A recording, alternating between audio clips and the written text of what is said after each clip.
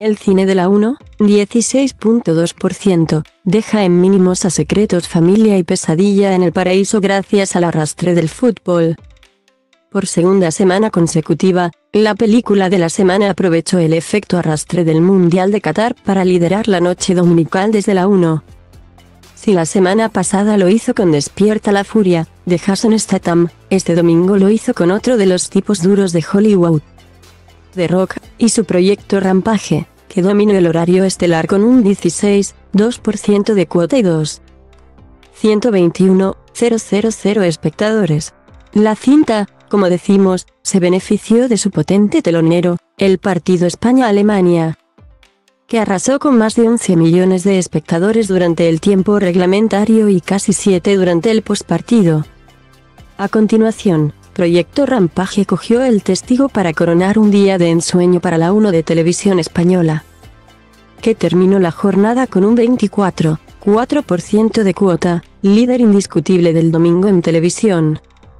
Por otro lado, la película de la semana dejó en mínimos de cuota a Secretos de Familia, 12,8%, y el debate de Pesadilla en el Paraíso, 9,6%, que perdieron 1, 1 y 1 puntos en Antena 3 y Tele5. Respectivamente.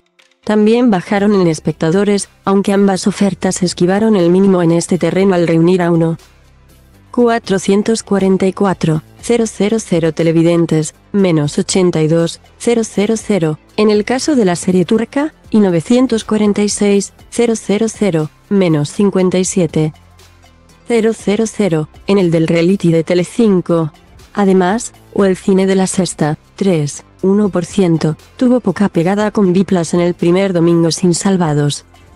Y cuarto milenio, 7%, ganó tres décimas en cuatro.